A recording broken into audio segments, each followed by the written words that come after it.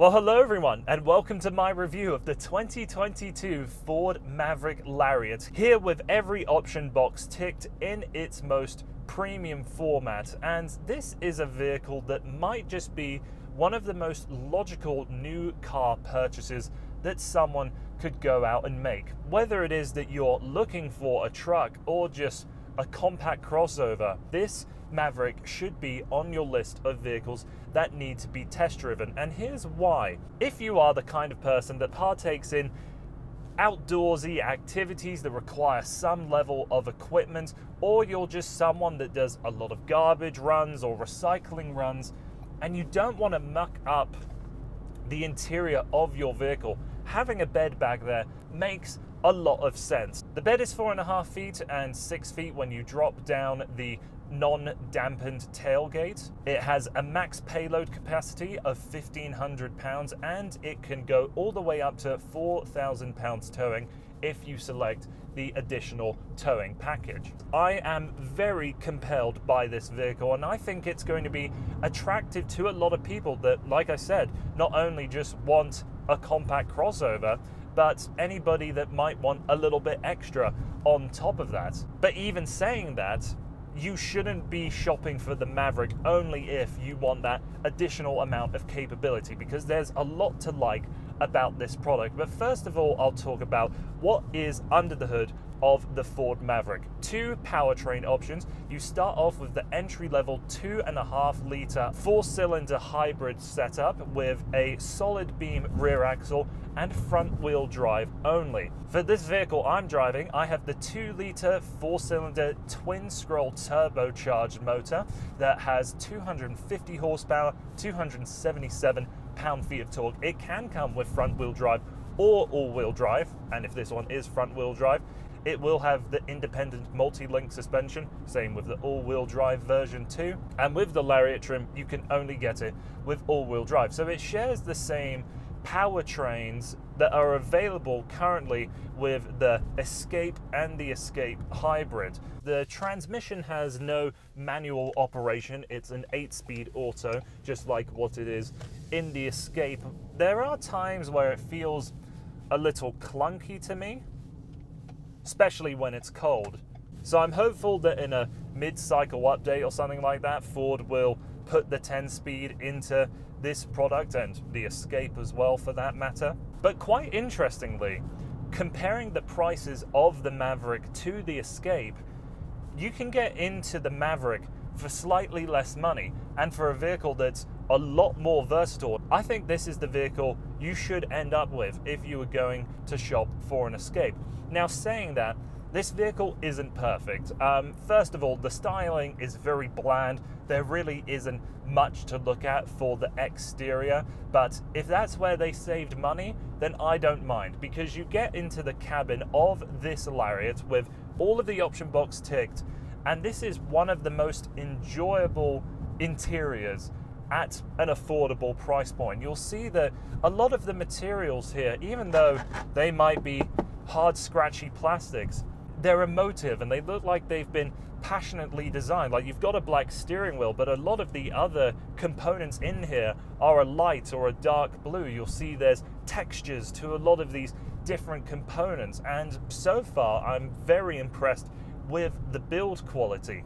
Another interesting feature with the Maverick is that it has a lot of rubberized components that you can take out and clean, or if they ever got so badly damaged, just buy replacement models to them too.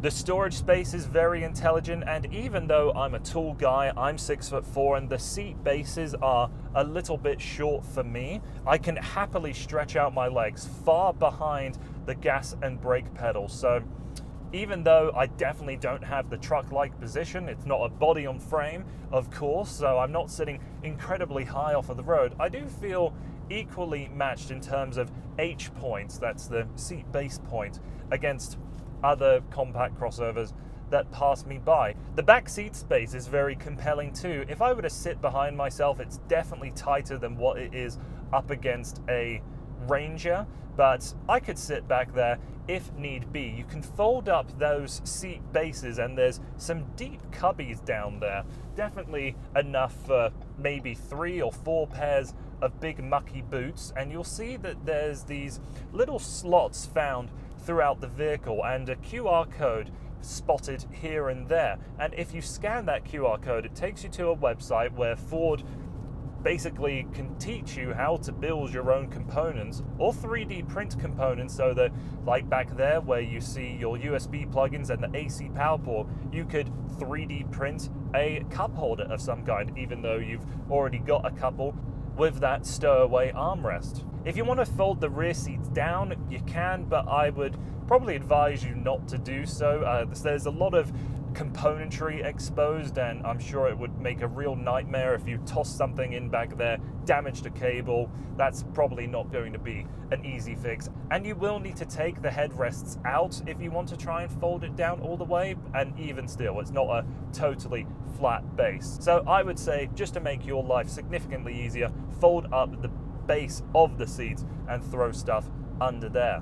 A couple other things I want to address that I'm not so fond of in the Maverick is that even though this is based on the Escape, and I like the Escape's scrappy driving nature, um, it doesn't translate so well into the Maverick, particularly the steering. It just feels quite inconsistent to me. I know it's got the same variable electric power steering that so many other Fords have, but with this, I find it a lot less predictable. And sometimes you'll be going around a long sweeping corner and you can really feel that variability change when you're holding the steering wheel in a certain position that I've never felt before in another Ford. Anything else I don't like? Uh, well, I think the rear visibility is a little bit tight, not too bad though, and for whatever reason, the keyless entry for the front doors here in the Maverick haven't worked at all during my time testing. With the FX4 package that's been selected here for this Maverick, it gets a couple of additional driving modes outside of your normal tow and haul modes. You'll get a mud slash ruts mode and a sand mode. The FX4 package also adds some additional cooling capability, skid plates, and these all-terrain tires on the 17 inch rims. Now, to talk money for a little bit, it is really quite compelling that with the Maverick, when you go to the very top of the trims for this Maverick with all of the options in it and the Escape Titanium with a fair amount of options selected, this is still ever so slightly less.